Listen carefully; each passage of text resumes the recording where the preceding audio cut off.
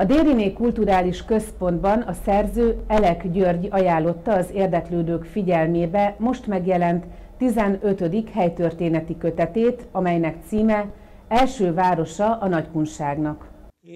Mint elhangzott, a szerző 30 éve kutatja a nagykunság fővárosának történetét. A tanulmányok Karcagváros történetéből e, merítődtek, e, körülbelül 30 év termés, ahogy hallottuk is, és hát maga a könyvnek az a történet, hogy mi azt 10 évvel ezelőtt akartam, csak hát mindenféle jött, ugye a könyveknek is megvan a maguk sorsa, a keletkezésük sorsa is, tehát tíz éve akartam volna már, akkor gyűjtöttük össze a tanulmányokat, de közben újabb, eltelt még tíz év, írtam még, és akkor így lett 12, eredetileg 6 darabra gondoltam.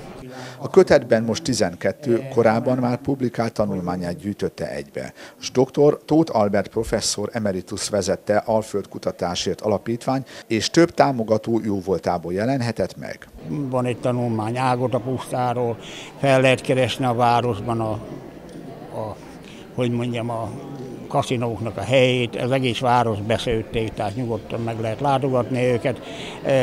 Van a kertekről, Szóval millió lakás elhagyási lehetőség van e, ezek kapcsán. Hát az életkor tulajdonképpen az, aki szereti ezt a műfajt, általában az idősebbek, tehát inkább 40-en túliak, de bárki olvashatja.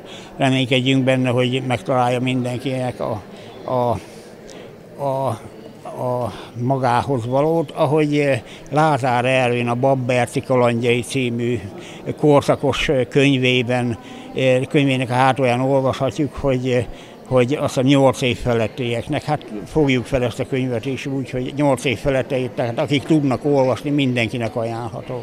Ez elsőrendű feladat, hogy ezt az olvasóközönség, ami helyből merítkezik, azért ezt, ezt teljesen normálisan tudja olvasni, átvenni, elmesélni, továbbadni.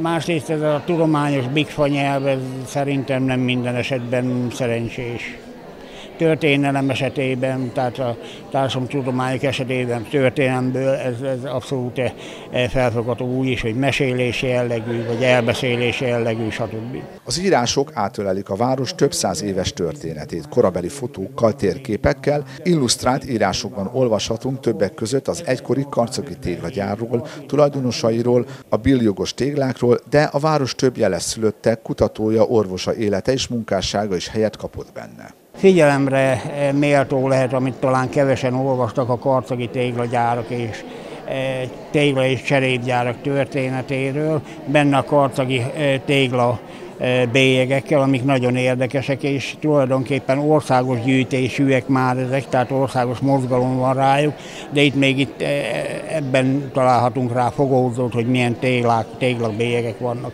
Akkor van az egyesületekről és kaszinókról a régi, mert ezek tudjuk 48 után zömmel megszűntek, 89-től megpróbálkoztak többüknek a feltámasztásával, de nem igazán sikerrel.